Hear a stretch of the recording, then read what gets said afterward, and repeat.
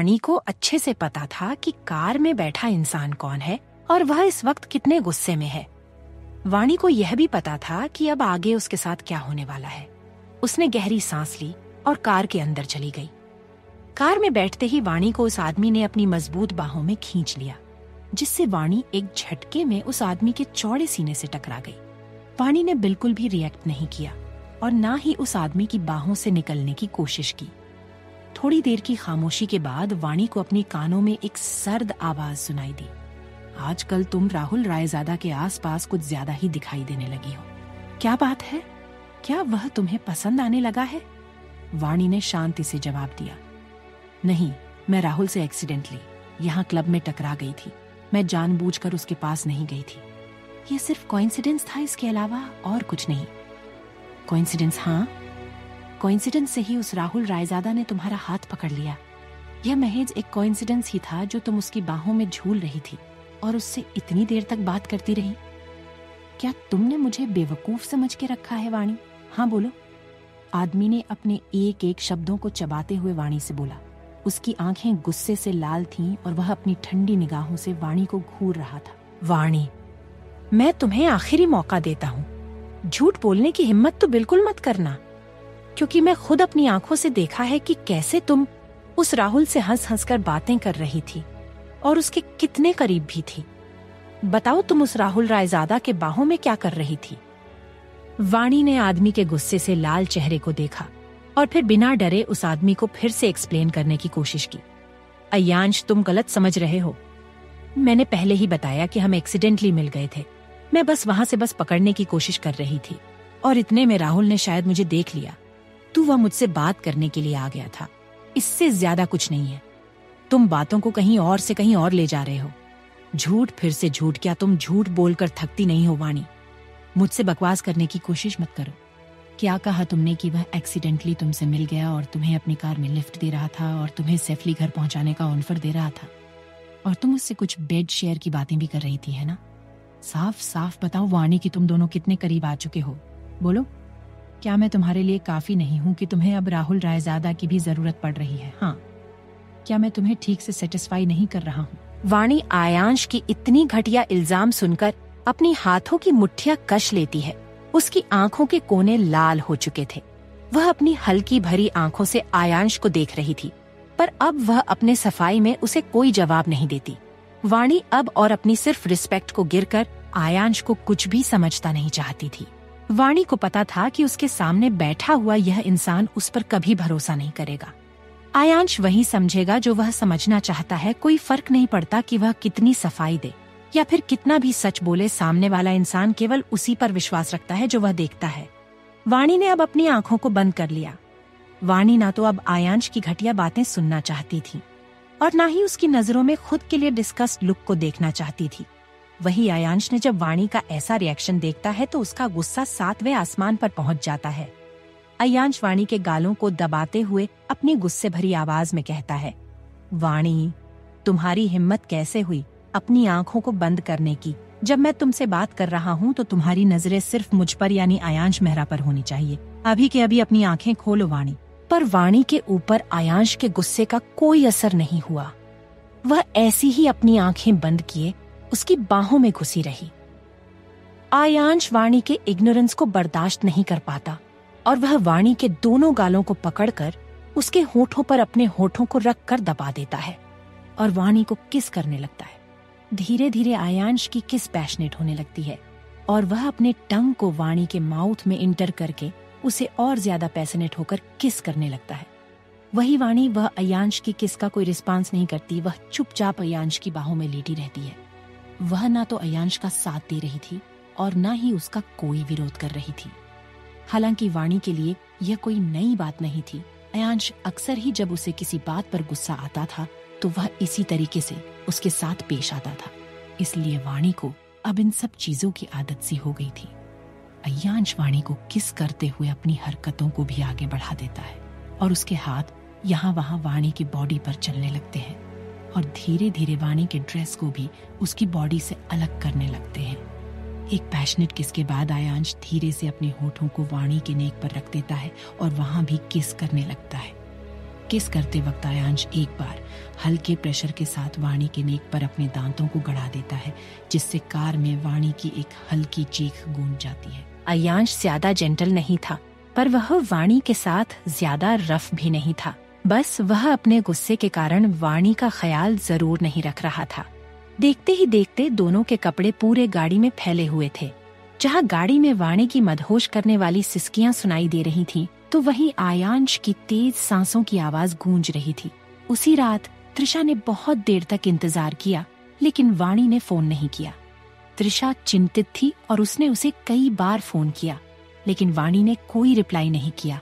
रात को एक बज चुके थे, लेकिन वाणी का न कोई व्हाट्सएप मैसेज आया था और न ही कोई फ़ोन आया था। त्रिशा चिंता से करवट बदल ही रही थी कि उसका मोबाइल का रिंगटोन बजा सामने वाणी का मैसेज था।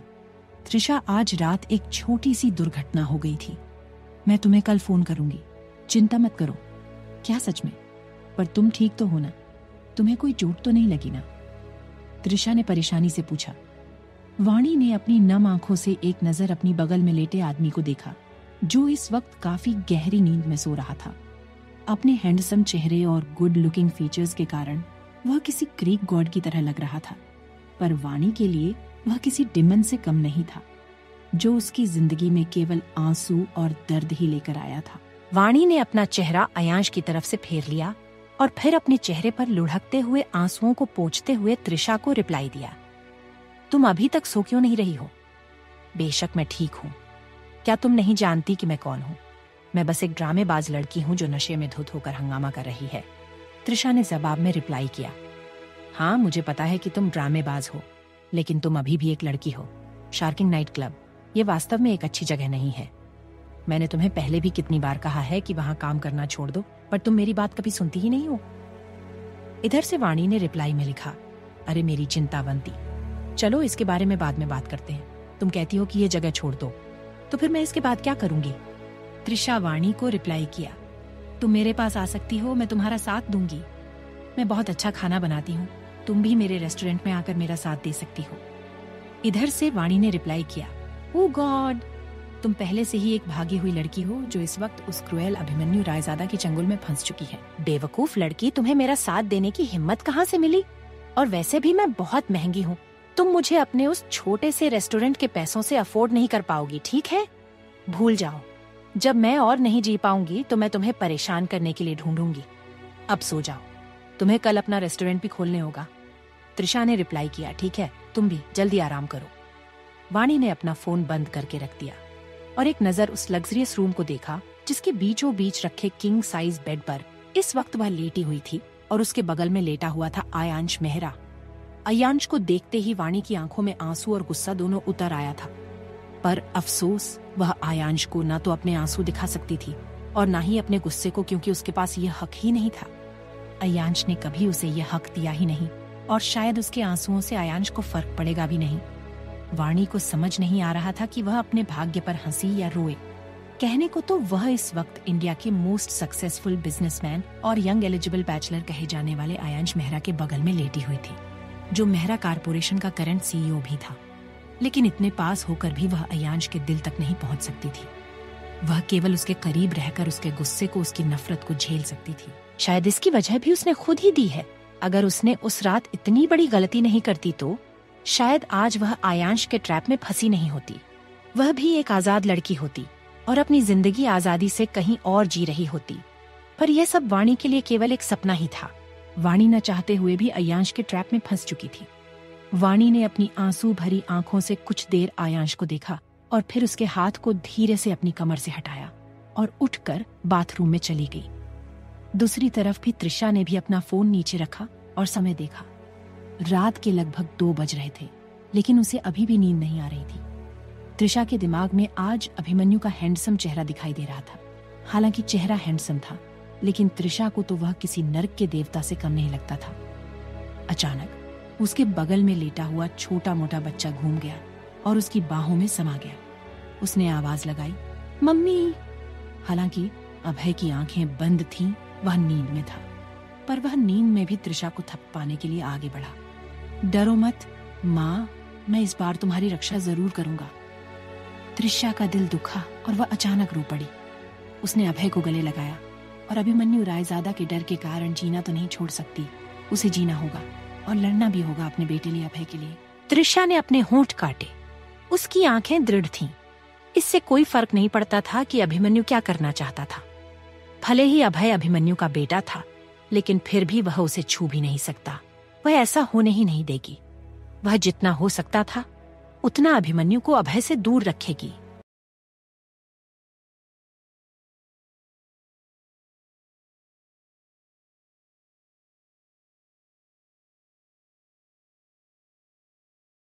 सुबह का वक्त। त्रिशा आज जब सुबह रेस्टोरेंट में पहुँची थी तो वह रेस्टोरेंट को देखकर खुद भी दंग रह गई थी। एक रात में ही दुनिया उलट पुलट हो गई। रेस्टोरेंट में पुराने साइन बोर्ड की जगह लाल रंग के चमकीले बोर्ड लगाए गए थे और रेस्टोरेंट के दरवाजे को भी नए में बदल दिया गया था। यहाँ तक कि रेस्टोरेंट के हॉल के सामने की सड़क को भी साफ़ सुथरा करके लाल कालीन से ढक दिया गया था। कल परेशानी खड़ी करने वाले सभी गुंडे साफ़ सुथरे ढंग के कपड़े पहनकर दरवाजे पर खड़े थे। जब उन्होंने त्रिशा को देखा तो उन्होंने जल्दी से पटाखे जलाए, जो उन्होंने पहले से तैयार किए थे। कई आतिशबाजी और पटाखे के फूटने की आवाजों के बाद वे एक स्वर में चिल्लाए, स्वागत है, लेडी बॉस। त्रिशा अचानक से डरकर दो कदम दूर हो गई थी। उसने घबराकर उन लोगों की तरफ़ देखा, जो पटाखे जला रहे थे। उसने हैरानी से उन गुंडों की तरफ़ देखा, जो दमकते हुए चेहरों के साथ उसे ही देख रहे थे। मानो वह अपनी प्रशंसा के लिए त्रिशा का इंतज़ार कर रहे हो। त्रिशा उन्हें देखते हुए गहरी सांस लेती है, और मन ही मन वह इन सब चीज़ के लिए अभिमन्यु को कोसती है। क्योंकि इन गुंडों का यह पागलों जैसा व्यवहार केवल और केवल अभिमन्यु के वजह से ही तो था। त्रिशा उन गुंडों को देखकर एक आह भरती है। और उन्हें बिना कुछ कहे सीधे रेस्टोरेंट के हाल से होते हुए किचन में चली जाती है और अपना डेली रूटीन का काम करने लगती है। त्रिशा कुछ फ़ूड प्रिपेयर करके जैसे ही बाहर आती है। उसे एक सामने आदमी बैठा हुआ दिखाई दिया, जिसने ब्लू शर्ट और नेवी ब्लू कलर का पैंट पहना हुआ था। दिखने में वह काफ़ी डिसेंट और जेंटलमैन दिखाई दे रहा था। उस आदमी ने जैसे ही त्रिशा को किचन से बाहर आते हुए देखता है तो वह अपनी जगह से खड़ा हो गया। और त्रिशा के पास आकर उसके हाथ से खाना लेकर टेबल पर रखते हुए बोला त्रिशा तुम आ गई? मैं कब से तुम्हारा वेट कर रहा था? वैसे आज तुम्हारे रेस्टोरेंट में कोई कस्टमर क्यों नहीं है? त्रिशा उस आदमी को देखकर एक पल के लिए हैरान हो गई, पर फिर वह भी अपने चेहरे पर एक हल्की स्माइल लाकर बोली, अरे अजय, तुम बनारस से कब वापस आ गए? क्या तुम्हारा काम हो गया? हाँ बिल्कुल मेरा काम हो गया और मैं यहाँ तुम्हें कुछ देने के लिए आया हूँ। यह कहते हुए अजय ने तुरंत टेबल पर रखे एक पैकेट को आगे बढ़ाते हुए त्रिशा से बोला त्रिशा मैं बनारस से वहाँ की फ़ेमस बनारसी साड़ी तुम्हारे लिए लेकर आया हूँ प्लीज़ इसे मना मत करना, यह काफ़ी फ़ेमस है, और तुम पर बहुत अच्छी भी लगेगी। बस एक बार से ट्राई करो, तुम्हें ज़रूर पसंद आएगी। त्रिशा ने अजय को मना करते हुए कहा, अरे अजय, इसकी क्या ज़रूरत थी? तुम्हें पता है ना कि मैं साड़ी ज़्यादा नहीं पहनती, और फिर विमला काकी को पता चला तो वह तुम पर काफ़ी नाराज़ होने वाली है। तो इसे ले जाओ और विमला काकी को ही दे देना। अजय ने तुरंत त्रिशा का हाथ पकड़ लिया और उसके हाथ पर साड़ी पकड़ाते हुए बोला, मैं माँ को पहले ही साड़ी दे चुका हूँ। ये स्पेशली मैं तुम्हारे लिए ही लेकर आया हूँ तो इसे तुम्हें ही एक्सेप्ट करना होगा। प्लीज़ इसे रख लो ना त्रिशा। त्रिशा अजय से बात करने में इतना खो गई कि उसे रेस्टोरेंट के बाहर कार रुकने की आवाज़ सुनाई नहीं दी। अजय और त्रिशा एक दूसरे से बात कर ही रहे थे कि तभी एक आदमी चारकोल ग्रे कलर का बिज़नेस सूट पहने हुए इंटर करता है। उसके रेस्टोरेंट में इंटर करते ही, सामने का नज़ारा देखते ही, उसका पूरा चेहरा डार्क हो गया और उसके हाथों की मुट्ठियाँ बन गई। सामने एक लड़के ने त्रिशा का हाथ पकड़ रखा था और त्रिशा उस लड़के से बहुत ही मुस्कुराकर बात कर रही थी और वह लड़का भी त्रिशा को बड़े प्यार से मुस्कुराते हुए देख रहा था। यह देखते ही अभिमन्यु का पारा सातवें आसमान पर पहुँच जाता है। ये आदमी जो अभी अभी रेस्टोरेंट में एंटर हुआ था वह अभिमन्यु रायजादा था। रेस्टोरेंट में एंटर करते ही जब उसने त्रिशा और उस लड़के को इतने करीब देखा तो उसका चेहरा गुस्से से काला पड़ गया। अभिमन्यु की आँखें एकदम से गुस्से से लाल हो जाती हैं, मानो वह उस सामने वाले लड़के को अभी अपने आँखों से ही जलाकर राख कर देगा। वही त्रिशा अभी अजय को मुस्कुराकर उसके लाए हुए गिफ्ट के लिए थैंक यू बोल ही रही थी कि अचानक से उसे अपने आसपास ठंड का एहसास हुआ उसे ऐसा लगा जैसे कि अचानक से यहाँ का ताप मान गिर गया हो। उसने नज़रें उठाकर जब सामने देखा तो उसे सामने अभिमन्यु खड़ा हुआ दिखाई दिया, जो गुस्से से जलती हुई निगाहों से उसी तरफ़ देख रहा था। यह देखते ही त्रिशा के हाथ पाँव फूल उठाते हैं और उसके हाथ से ट्रे छूटकर ज़मीन पर गिर जाती है। अचानक से यह नर्क का देवता यहाँ क्यों आकर प्रकट हो गया है? अब इसे और क्या चाहिए? त्रिशा महसूस कर पा रही थी कि अभिमन्यु काफ़ी गुस्से में है। इससे वह और भी ज़्यादा डर जाती है। भगवान, आप मेरे साथ हमेशा इतना बुरा क्यों करते हैं? जब भी मैं एक खाई से निकलती हूँ तो आप मुझे उसी वक्त एक दूसरी गहरी खाई में फेंक देते हैं। त्रिशा बिना सोचे समझे अपने कदमों को पीछे लेती है और तेज़ी के साथ किचन की तरफ़ चली जाती है। वह यह भी नहीं सोचती कि उसके इस कदम से अभिमन्यु उसके बारे में क्या सोचेगा। वह उसे वक्त बस अपनी जान बचाकर वहाँ से भागना चाहती थी। अजय जो अभी मुस्कुराकर त्रिशा से बात कर रहा था, वह अचानक उसके इतने अजीब बिहेवियर को देखकर थोड़ा सा हैरान हो जाता है। लेकिन वह अपनी हैरानी जता पाता कि उससे पहले ही दो हाथ उसके दोनों बाजुओं को पकड़े हुए थे और वह इस वक्त हवा में लटक रहा था। वह और कुछ बोल पाता कि वह दो मज़बूत आदमियों द्वारा रेस्टोरेंट के बाहर फेंक दिया गया था। अजय भौचक्का होकर कभी खुद को देखता तो कभी सामने खड़े हट्टे कट्टे बॉडीगार्ड्स को देखता, जिन्होंने उसे किसी फूलों की तरह उठाकर बाहर फेंक दिया था। उन बॉडीगार्ड्स को देखकर अजय फिर और कुछ बोलने की हिम्मत भी नहीं करता। वह थोड़ी देर उन्हें देखता है और फिर बिना एक भी शब्द बोले पतली गली को पकड़कर चुपचाप वहाँ से चला जाता है। वही बॉडीगार्ड मार्ग भी चतुराई से बाहर जाकर खड़ा हो गया, ताकि कोई और रेस्टोरेंट में न आ सके। रेस्टोरेंट में सिर्फ़ अभिमन्यु और त्रिशा ही बचे थे। अभिमन्यु का गुस्सा अभी भी शांत नहीं हुआ था, लेकिन अब जब वह आदमी उसके सामने नहीं था तो उसे काफ़ी अच्छा महसूस हो रहा था। अभिमन्यु को अंदर जाकर त्रिशा को ढूँढने की कोई जल्दी नहीं थी। वह थोड़ी देर वहीं खड़ा होकर किचन को घूरता रहा और फिर उसने एक नज़र सामने रखे खाने को देखा, जिससे अभी भी बहुत ही अच्छी खुशबू आ रही थी।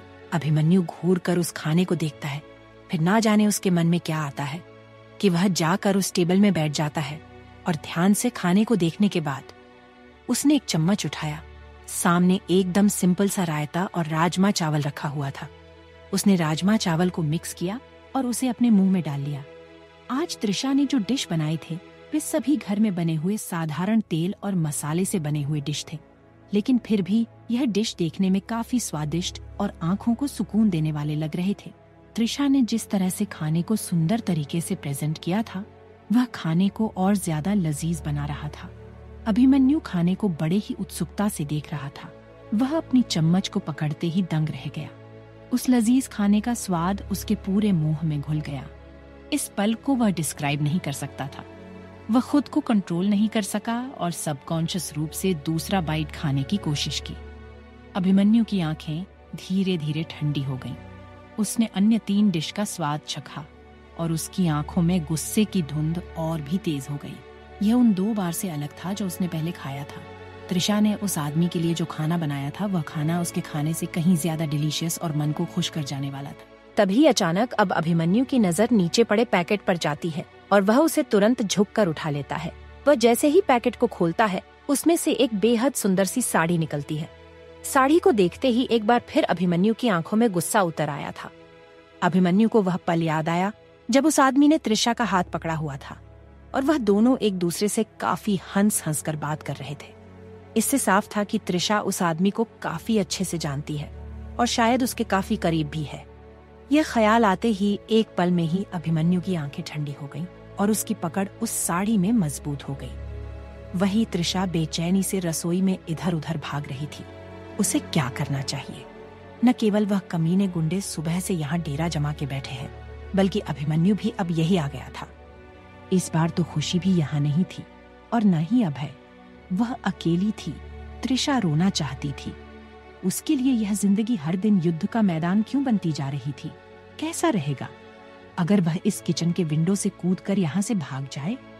त्रिशा इस बारे में मन ही मन सोच रही थी कि जब उसने पलट कर देखा तो उसे लगा कि अब शायद बहुत देर हो चुकी है। अभिमन्यु पहले से ही किचन में इंटर कर चुका था और अपनी लाल आँखें उस पर टिकाए हुए था। अभिमन्यु के चेहरे पर एक मुस्कान दिखाई दे रही थी, लेकिन त्रिशा को वह खतरे का संकेत लग रहा था और वह काँप उठी। अभिमन्यु ने गुस्से में कहा, लेडी बॉस, आप अपना यह सामान बाहर ही छोड़ आई थी। मैं यह आपको वापस करने आया हूँ। अभिमन्यु ने अजय द्वारा लाई गई बनारसी साड़ी को त्रिशा के सामने कर दिया। त्रिशा अभिमन्यु के शब्द से ही उसका गुस्सा भाप सकती थी। त्रिशा ने आगे बढ़कर उस साड़ी को लेने की हिम्मत नहीं की, बल्कि वह धीरे धीरे अपने कदमों को पीछे करने लगी, क्योंकि अभिमन्यु गुस्से से उसकी तरफ़ ही बढ़ रहा था। अभिमन्यु को अपनी ओर आते देख त्रिशा कदम दर कदम पीछे हटती गई, जब तक कि उसके पास पीछे हटने के लिए कोई जगह नहीं बची। फाइनली अभिमन्यु ने त्रिशा को दीवार और खुद के मज़बूत शरीर के बीच में दबा दिया। अब अभिमन्यु का चेहरा त्रिशा के ठीक सामने था। अभिमन्यु अभी बहुत चमकदार दिखाई दे रहा था, जैसे खिले आकाश में सूरज। कोई भी उसका मुकाबला नहीं कर सकता था। वह जितना ज़्यादा हैंडसम और चार्मिंग लग रहा था, उतना ही वह भयानक, ठंडा, क्रूर भी था। उसकी काली, गहरी लाल आँखें त्रिशा पर ही टिकी हुई थी। मानो उसकी आँखें कोई लैंप हो और वह त्रिशा को बारीकी से स्कैन कर रही हो। त्रिशा के दिल में हमेशा ही अभिमन्यु के लिए एक गहरा डर था, जो समय के साथ और भी ज़्यादा बड़ा हो गया है। त्रिशा खुद को नियंत्रित नहीं कर पाई। उसने कल रात ही खुद को समझाया था कि उसे अभिमन्यु से इतना डरने की ज़रूरत नहीं है। लेकिन अब जब वह उसके सामने आया तो वह अभी भी असहज रूप से डर गई थी। त्रिशा खुद को नियंत्रित नहीं कर पाई। उसने कल रात खुद से कहा था कि उसे अभिमन्यु से इतना डरने की ज़रूरत नहीं है, लेकिन अब जब वह उसके सामने आया तो वह अभी भी असहज रूप से डर गई थी। त्रिशा ने अपना शरीर कितना भी सिकोड़ लिया हो, ये बेकार था। अभिमन्यु पहले ही उसके काफ़ी करीब आ चुका था। वह लगभग पूरी तरह से अभिमन्यु द्वारा दीवार से सटा दी गई थी। अगर दूर से देखा जाए तो ऐसा लगेगा जैसे कि वह अभिमन्यु की बाहों में थी। त्रिशा हमेशा ही खाना बनाते समय मास्क लगती थी। इस वक्त भी उसके चेहरे पर मास्क था। पर वह उस मास्क के ज़रिए से भी अभिमन्यु के शरीर से आ रही भीनी भीनी सेंट की खुशबू को महसूस कर सकती थी। उसके सेंट की खुशबू भी बिल्कुल उसकी तरह ही ठंडी थी, जो उसके नाक से होते हुए सीधा उसके पूरे शरीर में पहुँच रही थी।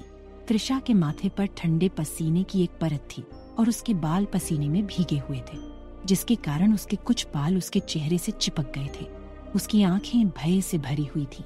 वह एक हिरण के बच्चे की तरह लग रही थी, जिसे एक लाचार स्थिति में मजबूर किया गया था और उसके पास भागने के लिए कोई जगह नहीं थी। त्रिशा की आँखें लाल थीं।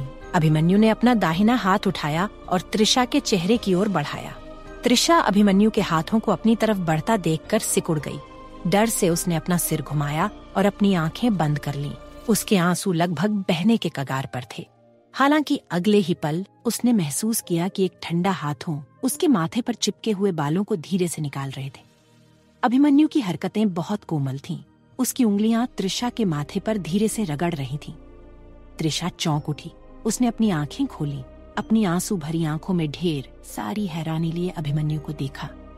अभिमन्यु जब अंदर आया था तो वह काफ़ी गुस्से में था। लेकिन अब जब त्रिशा उसे देख रही थी तो उसे अभिमन्यु के एक्सप्रेशन काफ़ी सॉफ्ट और जेंटल दिखाई दे रहे थे। अभिमन्यु की यह हरकत त्रिशा को बिल्कुल भी समझ नहीं आ रही थी। अगर वह गुस्से में है तो फिर वह इतने प्यार से उसके साथ बिहेव क्यों कर रहा है? आखिर यह करना क्या चाहता है? पर वह आगे कुछ सोच पाती। उससे पहले ही उसे अपनी गीली आँखों पर एक ठंडी हवा का झोंका महसूस हुआ। अभिमन्यु ने त्रिशा की आँखों पर हल्की से फूंक मारी, जिससे त्रिशा की काली आँखें बड़ी हो गईं। और वह अपनी बड़ी बड़ी आँखों से अभिमन्यु की आँखों में देखने लगी। अभिमन्यु की आँखें काले अनंत आकाश से भी ज़्यादा गहरी दिखाई दे रही थी। त्रिशा एक पल के लिए अभिमन्यु की आँखों में देखते हुए उसकी नशीली आँखों की गहराई में खो गई थी। इस वक्त में त्रिशा अपने डर को पूरी तरीके से भूल गई थी और वह एक टक अभिमन्यु की आँखों में देख रही थी कि तभी अचानक से त्रिशा को अपनी ठुड्डी पर दर्द हुआ। अभिमन्यु ने त्रिशा की ठुड्डी पर चुटकी काट दी थी, जिसे त्रिशा को हल्का दर्द महसूस हुआ। लेडी बॉस, क्या हुआ? आप कहाँ खो गई हैं? आप ठीक तो हैं? आप मुझे कुछ खोई खोई सी दिखाई दे रही है? त्रिशा काँप उठी। हाँ? अभिमन्यु ने उसे देख लिया था। त्रिशा ने अपने दांत पीसते हुए कांपती हुई आवाज़ में कहा नहीं मैं नहीं। मैं ठीक हूँ मुझे कुछ नहीं हुआ है। उसने अपनी नज़रों को अभिमन्यु के ऊपर से फेर लिया और इधर उधर देखने लगी। ओ, फिर ठीक है। वैसे वो आदमी कौन था जो बाहर तुम्हारे साथ बातें कर रहा था? देखने से तो लग रहा था कि तुम उसे काफ़ी अच्छे से जानती हो। देखो ना वह आदमी तुम्हारे लिए गिफ्ट भी लेकर आया है जिसे तुम बाहर ही भुलाई थी। कौन है वह आदमी जो तुम्हारे इतना करीब था? हाँ। अभिमन्यु के चेहरे पर एक्सप्रेशन बिल्कुल पहले की तरह सॉफ्ट ही थे, लेकिन उसके शब्दों में काफ़ी रूखापन था। उसके शब्दों से हल्का गुस्सा झलक रहा था। त्रिशा अभिमन्यु के सवाल से शॉक्ड हो गई। वह पहले से ही अभिमन्यु की बाहों में डरी सहमी सी खड़ी थी, लेकिन अब वह ठीक से खड़ी भी नहीं हो पा रही थी। त्रिशा के पैर कमज़ोर हो गए और वह दीवार से नीचे खिसकना चाहती थी। हालाँकि त्रिशा की यह कोशिश भी बेकार गई और अभिमन्यु पहले ही उसकी हरकत को भाप गया और उसने तुरंत ही त्रिशा की नाजुक कोमल पतली कमर को मजबूती से पकड़ लिया। अभिमन्यु के ठंडे हाथों का स्पर्श अपनी कमर पर महसूस करते ही त्रिशा हिंसक रूप से कांपने लगी। त्रिशा ने तुरंत अपने हाथों को बढ़ाकर अभिमन्यु के हाथों को अपनी कमर से हटना चाह पर उसके हाथ, जो खाना बनाने के कामों में कुशल थे, वह हाथ इतने मज़बूत नहीं है कि वह अभिमन्यु को पीछे धकेल सके। बल्कि त्रिशा की कोशिश के कारण अभिमन्यु की पकड़ उसकी कमर पर पहले से कहीं ज़्यादा मज़बूत हो गई थी, और वह अपनी सर्द निगाहों से त्रिशा को घूरने लगा। त्रिशा को महसूस हुआ कि उसकी कमर टूटने वाली थी। अभिमन्यु ने अपनी भौहें नीचे की और त्रिशा की कमर को देखा। उसकी सुंदर आँखें काली पड़ गईं। अभिमन्यु की नज़र त्रिशा की सुंदर कमर पर थी। त्रिशा ने क्रॉप टॉप पहना हुआ था, जिसके कारण उसकी सुंदर कमर पूरी तरीके से दिखाई दे रही थी। अभिमन्यु के हाथ त्रिशा की पतली कमर पर लिपटे हुए थे। अभिमन्यु ने महसूस किया कि त्रिशा कुछ ज़्यादा ही पतली है। उसमें अपने एक हाथ से ही लगभग त्रिशा की पूरी कमर को पकड़ लिया था। अभिमन्यु अपने हाथों में त्रिशा के शरीर की गर्माहट को महसूस कर सकता था, और ये एहसास उसे एक अलग ही सुकून दे रहा था। एक अलग जज्बात अभिमन्यु की आँखों में दिखाई देने लगे थे। अभिमन्यु, अब जब एक बार फिर त्रिशा की नाजुक और रुई से भी ज़्यादा कोमल कमर को पकड़ रहा था। तो उसे अचानक से पाँच साल पहले की रात की यादों ने घेर लिया। उस रात, जब अभिमन्यु ने त्रिशा की कमर को पहली बार छुआ था, तब भी वह इसी तरह से इतनी ही कोमल और नाजुक थी, जितनी वह अब है। और यह याद आते ही उसे पाँच साल पहले की वह रात याद आ गई, जिससे अभिमन्यु के आँखों में एक बिजली सी कौद गई। और वह अपनी गहरी नशीली आँखों से त्रिशा को देखने लगा। उसकी आँखों में एक साथ कई सारे इमोशंस दिखाई देने लगे। त्रिशा को देखते हुए अभिमन्यु इतना खो गया, उसे पता ही नहीं चला कि कब उसके हाथ त्रिशा के कमर में मूवमेंट करने लगे थे। अभिमन्यु की उंगलियाँ धीरे धीरे त्रिशा के कमर में हरकत करने लगी थी, जिससे त्रिशा की बॉडी एकदम से अकड़ गई। उसे ऐसा लगा जैसे उसके शरीर का खून उलटी दिशा में बहने लगा है और उसका पूरा दिमाग खाली हो गया था। वह किसी पत्थर की मूर्ति की तरह एकदम सीधी खड़ी हो गई थी। जैसे वह अभी इस दुनिया में हो ही ना। अभिमन्यु त्रिशा के रिएक्शन को देखकर अपने मन ही मन खुश हो रहा था, क्योंकि यह बिल्कुल वैसा ही रिएक्शन था जैसे उसने पाँच साल पहले महसूस किया था। त्रिशा ने पहली बार भी बिल्कुल इसी तरह की हरकत की थी। अभिमन्यु झुका और उसने त्रिशा के कानों में बहुत धीरे से फुसफुसाया। त्रिशा तुमने जवाब नहीं दिया कि वह इंसान कौन था और वह तुम्हारे इतने करीब क्यों था? त्रिशा का माइंड पूरी तरीके से ब्लैक हो चुका था। वह अब एक रोबोट की तरह लग रही थी और उसने सब कॉन्शियसली बिना ठीक से अभिमन्यु की बात सुने अपना सिर हिलाया। उसमें अब और बोलने की हिम्मत नहीं हुई। त्रिशा सोच समझकर जवाब दो, क्या तुम यह कहने की हिम्मत कर रही हो कि वह आदमी मुझे भी ज़्यादा तुम्हारे करीब है? हम? अभिमन्यु धीरे मगर अपनी बेहद ठंडी आवाज़ में फुसफुसाते हुए बोला। त्रिशा के जवाब से अभिमन्यु जो अभी शांत हुआ था उसका गुस्सा फिर से बढ़ने लगा था। वह अपने अलावा किसी और को त्रिशा को देखने की भी इजाज़त नहीं देता। और यह बेवकूफ़ लड़की क्या कह रही है कि वह आदमी उसके करीब था। आखिर वह आदमी कब इस पागल लड़की के करीब आया? और वह कितना करीब है इस लड़की के? इस ख्याल मात्र से ही अभिमन्यु का दिमाग घूम गया था और वह अपनी ठंडी निगाहों से त्रिशा को घूरने लगता है। वहीं त्रिशा एक बार फिर जब उसने एक साथ अभिमन्यु के गर्म सांसों की गर्माहट और ठंडी आवाज़ को अपने कानों के पास महसूस किया तो इस बार त्रिशा को एक झटका सा लगा और वह एकदम से घबराकर इधर उधर देखने लगी। ऐसा लग रहा था जैसे कि वह किसी बुरे सपने से उठी हो। पर जब उसने सामने देखा तो उसे महसूस हुआ कि उसका बुरा सपना तो उसके सामने ही खड़ा है, जिसे वह किसी भी तरीके से टाल नहीं सकती थी। त्रिशा हकलाते हुए जल्दी से जवाब दिया, नहीं नहीं, बिल्कुल नहीं, वह आदमी मेरे करीब नहीं है। वह बस मेरा पड़ोसी है और वह किसी काम से बनारस गया था तो वह अपने माँ के साथ साथ मेरे लिए भी गिफ्ट लेकर आया था। इससे ज़्यादा कुछ नहीं है। मैं सच में उसके करीब नहीं हूँ। तुम कह रही हो कि वह तुम्हारे करीब नहीं है। पर भला कौन सा पड़ोसी? इतनी दूर से किसी के लिए गिफ्ट लेकर आता है और वह भी साड़ी। क्या तुम्हें पता है कि साड़ी देने का क्या मतलब होता है? एक आदमी एक लड़की को साड़ी तभी देता है जब वह उस लड़की को बहुत पसंद करता हो और वह उसे साड़ी में उसे देखना चाहता हो। और एक आदमी होने के नाते मैं साफ़ तौर पर बता सकता हूँ कि उस आदमी की नियत तुम्हारे लिए बिल्कुल भी सही नहीं है। वह तुम्हें यूँ ही साड़ी देने नहीं आया था। साफ़ साफ़ बताओ त्रिशा क्या तुम भी उस आदमी के लिए कुछ महसूस करती हो? बताओ, क्या तुम भी उसे आदमी को पसंद करती हो जैसे वह आदमी तुम्हें पसंद करता है? त्रिशा मुँह खुल गया। वह अपनी आँखें फाड़े हैरानी से अभिमन्यु को देख रही थी। ये आदमी क्या बकवास कर रहा था? वह भला क्यों अजय को पसंद करने लगी? और अजय वह मुझे क्या पसंद करेगा? उसने सबको पहले ही बता रखा है कि वह शादीशुदा थी। और उसे तो काफ़ी अच्छे से पता है कि मेरा एक चार साल का बेटा भी है। ये आदमी कैसी बिना सर पैर की बातें कर रहा है? अभिमन्यु के बिना मतलब की इल्ज़ाम को सुनकर अब त्रिशा को गुस्सा आने लगा था। उसने गुस्से से अभिमन्यु को धक्का देने के लिए हाथ बढ़ाया। लेकिन अभिमन्यु त्रिशा से कहीं ज़्यादा तेज था। उसने फूर्ति दिखाते हुए उसकी कलाई पकड़ ली। अभिमन्यु ने त्रिशा का हाथ पकड़ा, उसे अपने सिर के ऊपर उठाया और दीवार से सटा दिया। त्रिशा तुम्हें क्या लगता है? तुम मेरी पकड़ से इतनी आसानी से आज़ाद हो जाओगी? भूल जाओ। तुम पाँच साल पहले ज़रूर मेरी पकड़ से बचकर निकल गई थी। लेकिन इस बार सोचना भी मत कि मैं तुम्हें किसी भी हाल में छोड़ने वाला हूँ। तुम कितनी भी कोशिश कर लो। तुम्हें अब रहना मेरी बाहों के कैद में ही है। अभिमन्यु की धमकी सुनते ही तुरंत त्रिशा ने कसमसाना छोड़ दिया। और अपनी लाल आँखों से अभिमन्यु को देखने लगी।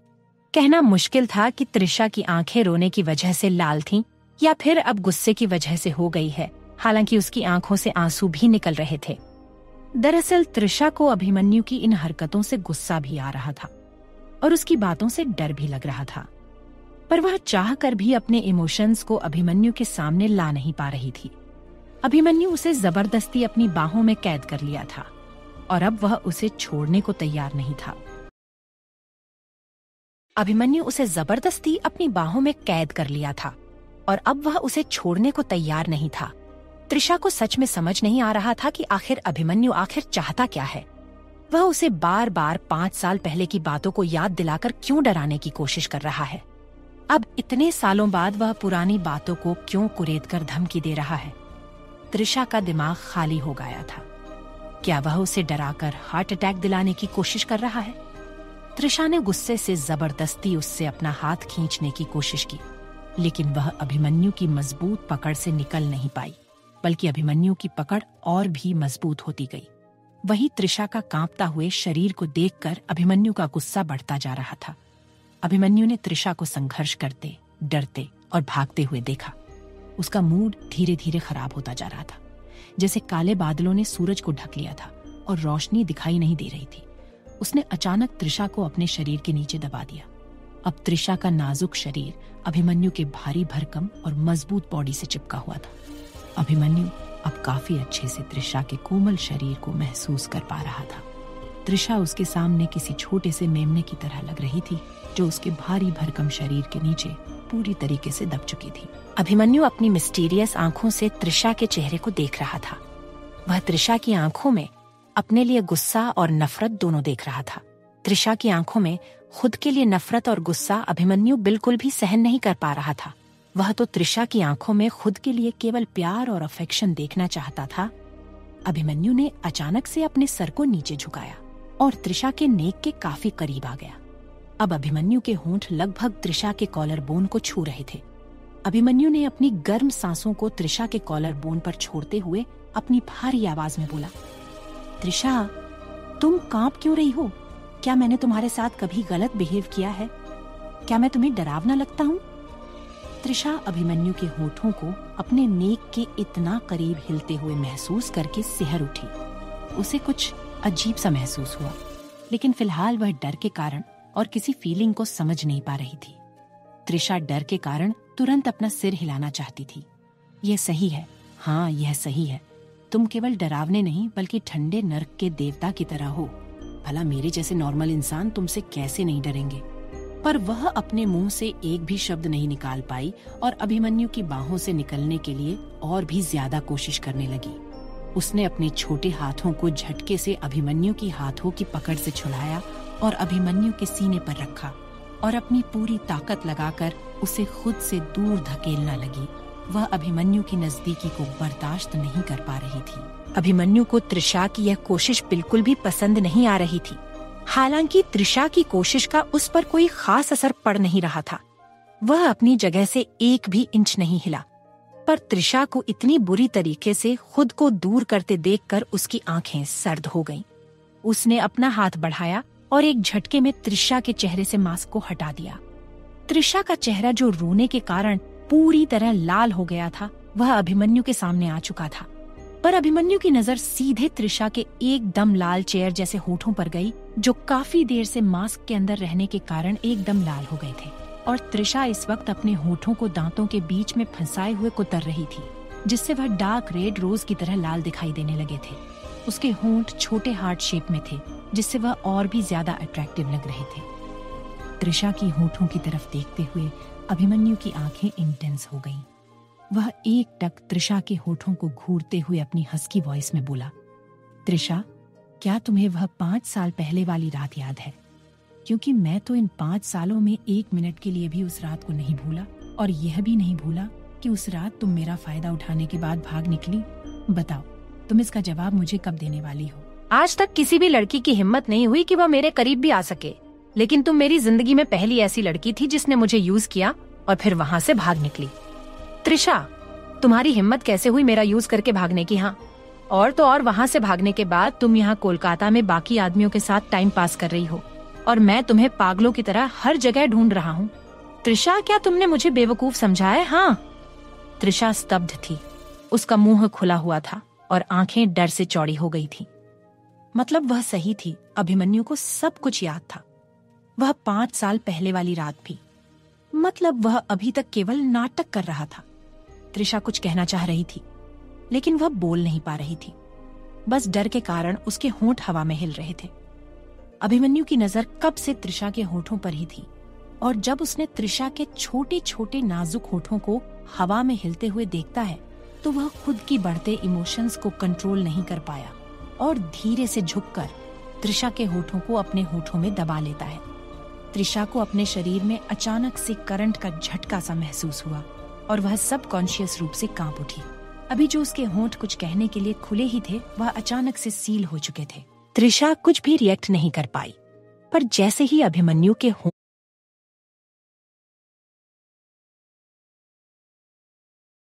होंठ उसके होठों पर मूवमेंट करना शुरू करते हैं। त्रिशा एकदम से होश में आ जाती है और अभिमन्यु को खुद से अलग करने की कोशिश करती है। वह अपने छोटे हाथों से अभिमन्यु के चेहरे को खुद से दूर करने की कोशिश करने लगती है। त्रिशा की कोशिश से अभिमन्यु को किसमें डिस्टरबेंस महसूस हुई? उसने तुरंत ही उसके दोनों हाथों को एक हाथ से पकड़कर दीवार से लगा देता है और दूसरे हाथ से उसकी कमर को थामकर खुद से और ज़्यादा चिपका लेता है। अभिमन्यु त्रिशा के होठों को बहुत ही प्यार से किस कर रहा था। त्रिशा के होंठ पहले से ही खुले थे, इसीलिए अभिमन्यु आसानी से त्रिशा के टंग अपने टंग में उलझा लेता है और अपनी किस को पैशनेट कर देता है। अभिमन्यु अपनी टंग से त्रिशा के मुँह के हर एक इंच को टटोल रहा था। उसे इस वक्त त्रिशा के होठों का टेस्ट किसी रसीले फल से भी ज़्यादा मीठा लग रहा था। वह जितना ज़्यादा त्रिशा को किस कर रहा था, वह उतना ज़्यादा ही खुद पर कंट्रोल खोता जा रहा था। उसके दिल की डिजायर्स बढ़ने लगी थी।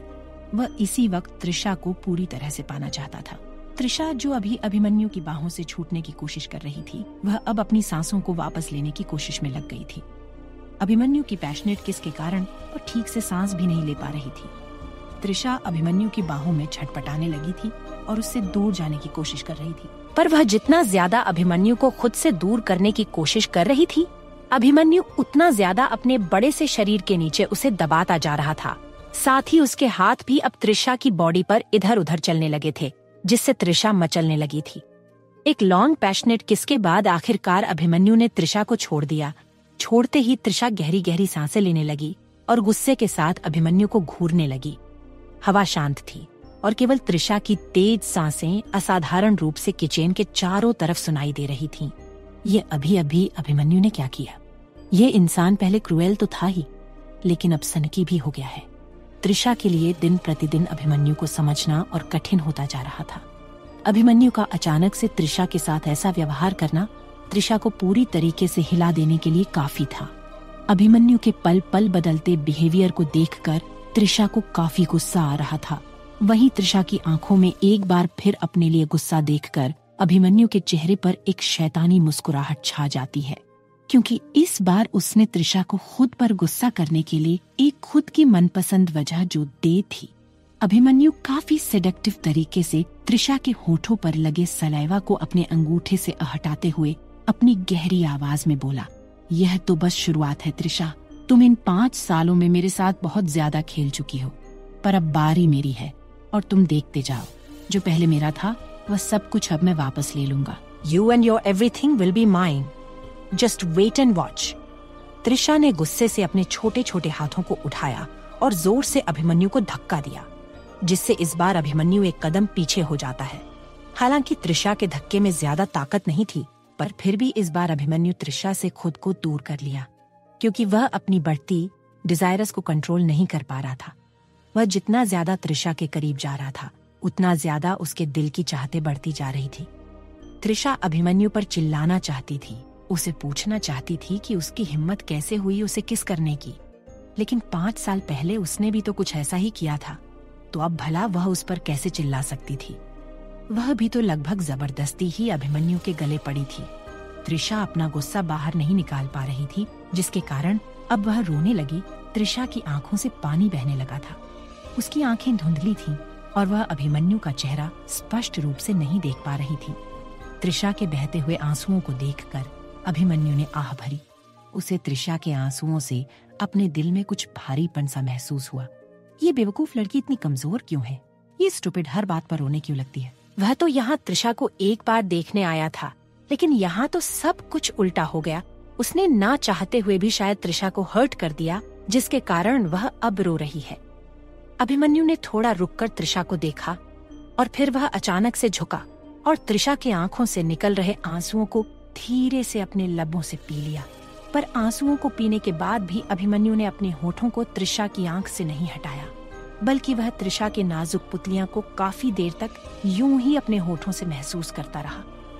Oh my goodness Trisha Trisha दीदी, आप कहाँ हो? हे भगवान, क्या मैं कुछ गलत देख रही हूँ? क्या ये हमारा रेस्टोरेंट है? त्रिशा दीदी, ये फ्रीजर भी नया है, अंदर बियर और ड्रिंक सब कुछ बिल्कुल फ्रेश रखा हुआ है वाह, ये टेबल और कुर्सियाँ बहुत महँगी लग रही हैं। यहाँ रात भर में क्या हो गया? त्रिशा दीदी, क्या आप रसोई में हैं? खुशी फुदकते हुए किचन की तरफ़ दौड़ी। त्रिशा दीदी, खुशी उत्साह से एक झटके में किचन के अंदर घुस चुकी थी। जब उसने अपने सामने का दृश्य देखा तो वह क्षण भर के लिए स्तब्ध रह गई और उसकी आवाज़ अचानक निकलनी बंद हो गई थी।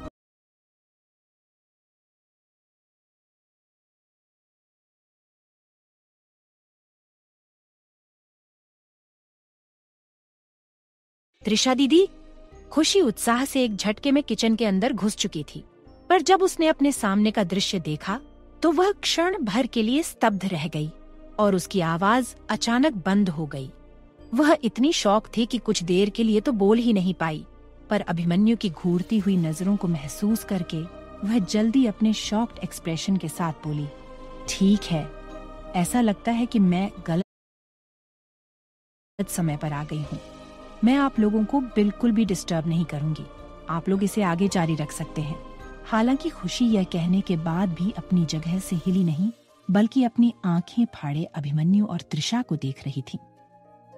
इस वक्त उसकी त्रिशा दीदी उसके सामने अभिमन्यु रायजादा की बाहों में बहुत करीब होकर खड़ी हुई थी और अभिमन्यु रायजादा त्रिशा दीदी को किस कर रहा था? सच में यह नज़ारा जितना ज़्यादा सुंदर था, उतना ज़्यादा ही डरावना भी था। कल उन गुंडों को सबक सिखाने के बाद जब अभिमन्यु रेस्टोरेंट से चला गया था, तब जाकर खुशी को पता चला था कि दरअसल अभिमन्यु कौन था और वह कितना भयानक इंसान है। अभिमन्यु ने जब देखा कि खुशी अपनी जगह से हिल नहीं रही है तो उसने खुशी की तरफ़ अपनी बेहद ठंडी नज़रों से घूरा और अपनी सर्द आवाज़ में बोला, तुम्हें पता है कि यह सही समय नहीं है। तो तुम बाहर क्यों नहीं जा रही हो? क्या तुम मेरे द्वारा बाहर भेजने का इंतज़ार कर रही हो? खुशी वास्तव में अभिमन्यु के शब्दों में इतना ठंडापन महसूस करके आज्ञाकारी ढंग से बाहर आ गई।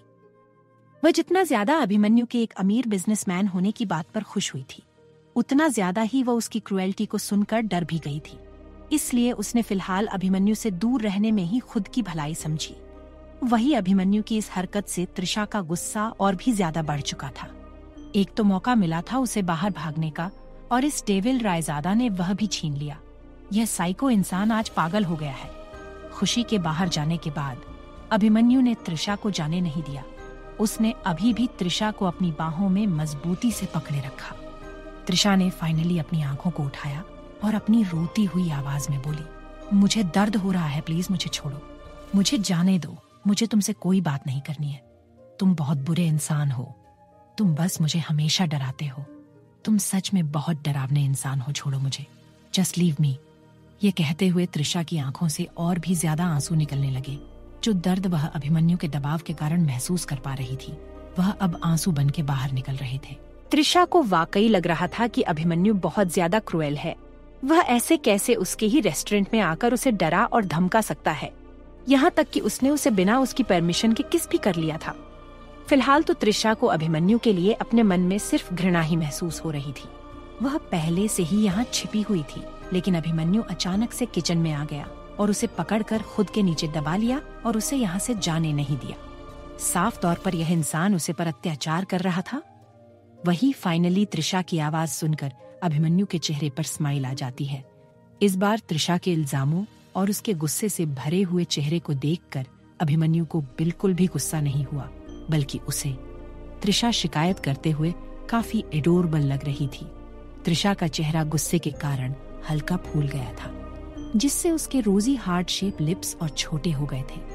न चाहते हुए भी अभिमन्यु की बार बार नज़र त्रिशा के छोटे होठों पर ही जाकर रोक रही थी।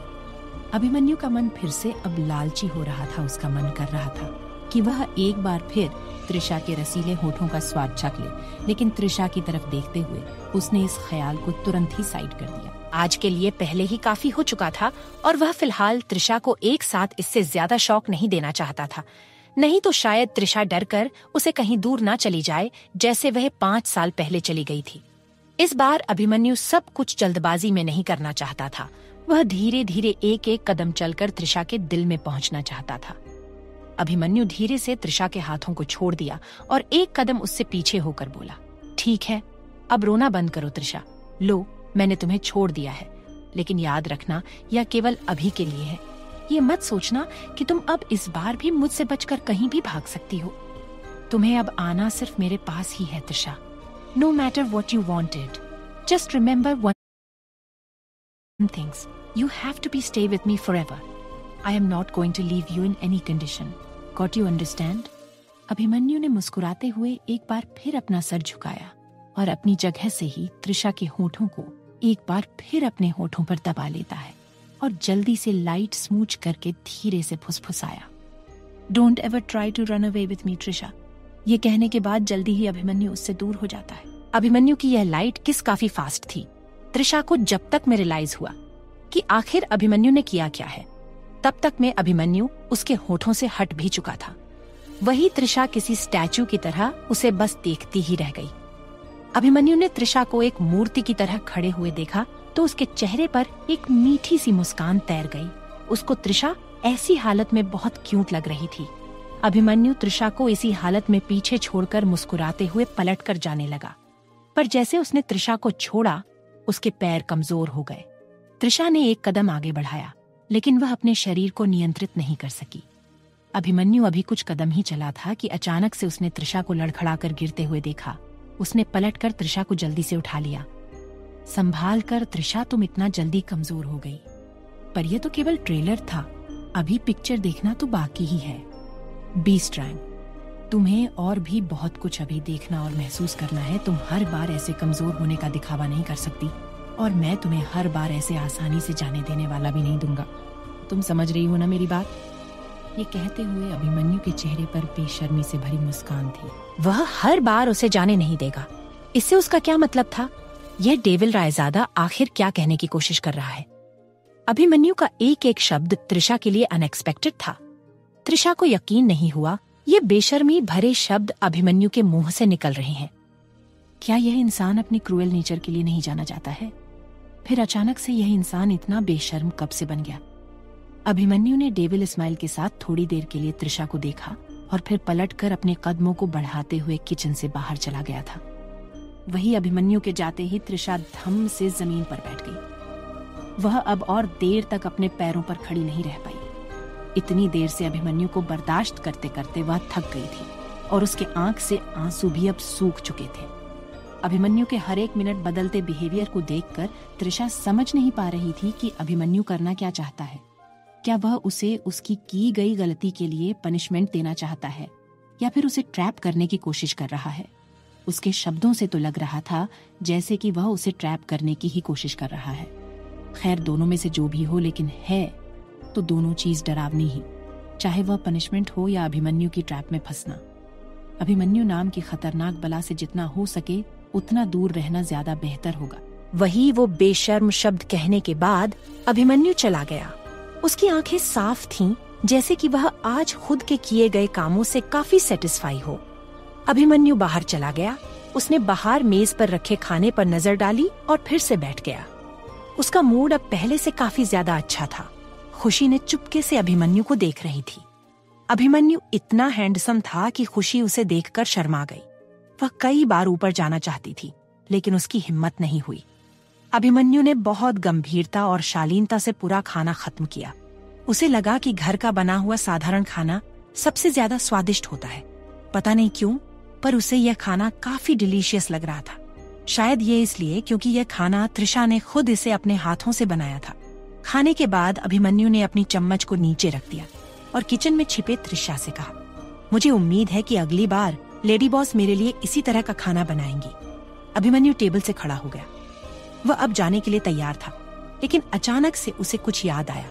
वह त्रिशा की और अपने सर को उठाकर कहा, मैं अभय से आज मिल नहीं पाया। उससे कहना कि मैं कल उससे मिलने आऊँगा। त्रिशा ने अपना सिर उठाया और अभिमन्यु की पीठ देखी। वह वही जम गई। उसका क्या मतलब था? अभय से मिलने आएगा। क्या ये उसका कोई घर है कि जब मन किया तो मुँह उठाकर यहाँ आ जाएगा? त्रिशा अभिमन्यु को पीछे से जाते हुए गुस्से से घूर रही थी कि अनएक्सपेक्टेड रूप से अभिमन्यु फिर से पीछे पलटा, अपना सिर घुमाया और त्रिशा को देखा। उसकी आँखें गहरी और चमक रही थीं। उसने शांति से कहा, लेडी बॉस की आँखें बहुत गर्म हैं। इसमें काफ़ी गुस्सा भरा हुआ है। इसे फ़िलहाल मेरे लिए बर्दाश्त करना मुश्किल है। उम्मीद करता हूँ कि कल तक में यह गुस्सा ठंडा हो जाएगा। ये कहते हुए अभिमन्यु के चेहरे पर एक डेविलिस स्माइल थी। त्रिशा मन ही मन गुस्से से घुराई। Abhimanyu Raizada go to help यह बर्दाश्त नहीं कर सकता माई फुट त्रिशा ने अपना सिर नीचे किया और अपनी मुठ्ठियाँ भींच ली। वही अभिमन्यु यह कहने के बाद रुका नहीं, वह अपने लंबे कदम बढ़ाते हुए रेस्टोरेंट से बाहर चला गया। खुशी ने अभिमन्यु की पीठ को देख रही थी। वह इतनी एक्साइटेड थी कि उसकी आँखें लगभग लाल हो गई थीं। वह त्रिशा के पास भागी। त्रिशा दीदी, आपका मिस्टर अभिमन्यु रायजादा के साथ क्या रिश्ता है? वह किचन में आपको किस क्यों कर रहे थे? क्या वह आपको पसंद करते हैं? या फिर वह केवल आपका पीछा कर रहा है? खुशी ने त्रिशा की ओर देखा। भले ही त्रिशा ने सबसे साधारण कपड़े पहने हुए थे और उसके चेहरे पर कोई मेकअप नहीं था, फिर भी वह इतनी सुंदर थी कि उसे अनदेखा करना असंभव था। खुशी की आँखों में जलन की भावना दिखाई दे रही थी। जैसे उसे त्रिशा की खूबसूरती खटक रही हो और अभिमन्यु जैसे हैंडसम आदमी का उसके पीछे आना उसे कुछ खास पसंद नहीं आया था। खुशी ने अपने होंठ सिकोड़े और अपनी धीमी आवाज़ में बोली, सुंदर होना अच्छा है। भले ही आपके पास एक बच्चा है, पर आपको चिंता करने की ज़रूरत नहीं है। आपके पास पहले ही काफ़ी लोग हैं, जो आपको पसंद करते हैं और आपसे शादी करना चाहते हैं। मुझे आपसे बहुत ईर्ष्या हो रही है, त्रिषा दीदी।